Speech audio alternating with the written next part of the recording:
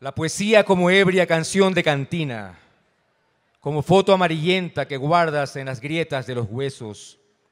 La poesía como espiralado cristal de feria que deforma el mundo con sus vacilos perfectos, como desnudez que me acorrala.